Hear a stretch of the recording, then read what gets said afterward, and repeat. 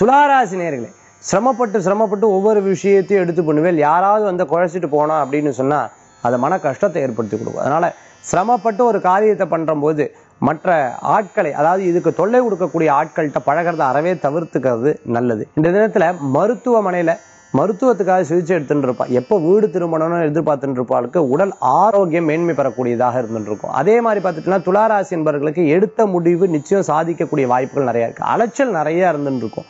இங்கேயும் அங்கேயுமா இங்கேயும் அங்கேயுமா அலைச்சல் நிறைய இருந்திருக்கும் நம்ம ஒருத்தரை தேடி போறோம் நம்பிக்கையா ஒரு காரியம் பண்றோம். அவன் அந்த காரியத்தை தவிர்த்து நம்பிக்கை இல்லாமல் பண்றது. இல்ல உங்ககிட்ட பொய் சொல்றா. உடனே அது உங்களுக்கு தெரியக்கூடியதாக இருக்கும். ஏன் இப்படி பொய் சொல்றா? நம்ம இவ்வளவு நம்பிக்கை வச்சிருக்கோமே அப்படிங்கிற ஒரு எண்ணம். ஏன்னா பிறரை நம்பினாதானே ஒரு காரியத்தை நம்ம பண்ண முடிகிறது.